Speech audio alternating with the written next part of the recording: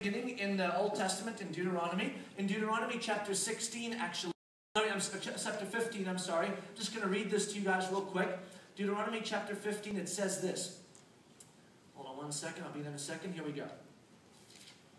It says in verse 1 At the end of seven, every seven years, you shall grant a release. And this is the manner of the release. Every creditor shall release what he has lent to his neighbor he shall not exact it of his neighbor, his brother, because the Lord's release has been proclaimed. Did you hear that? So, what happens every seven years in the system that God created in Deuteronomy in the law? He said, when there is debt that's happening, as Paul said, because debt is messy and debt creates slavery, as God proclaimed freedom to the captives, we are required, in part, to be able to proclaim freedom to those who we have lent money to that have borrowed from us. So, what this tells us, all right, is that God Himself creates a means by which debt forgiveness has to take place within His people. God also explains in the New Testament, because you could argue, well, in the Old Testament that's one thing, but we're in the New Testament now. In the New Testament, uh, there's a story that Jesus tells. It's actually found in uh, Matthew chapter 18. I think it starts in verse 21. It's a story. Uh, Peter comes to Jesus and asks about forgiveness and how forgiveness works. And then Jesus tells us amazing story about a guy who owed money to his master.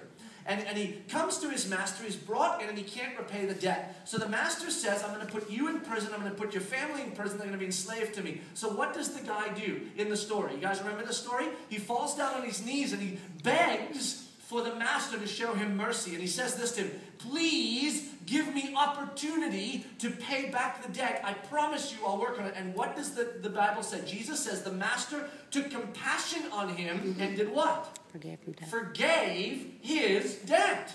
I mean, forgave it. It was done. Now, Jesus did not say, forgiven, as all of you know, I require that you pay it back anyways, right? That's not in the story. Jesus says he left with his debt forgiven, taken care of. And then, of course, you know the story, right? He doesn't forget some, uh, forgive someone that owes him debt, so the master finds out, pulls him back in, puts him in prison, and the whole thing starts over. What is the context of that story? Is it debt forgiveness? No. The context of the story is forgiveness as a whole, right? It's saying, Jesus is saying, when you've been forgiven much, then you ought to forgive much. And if you're not going to forgive much, that's a real problem.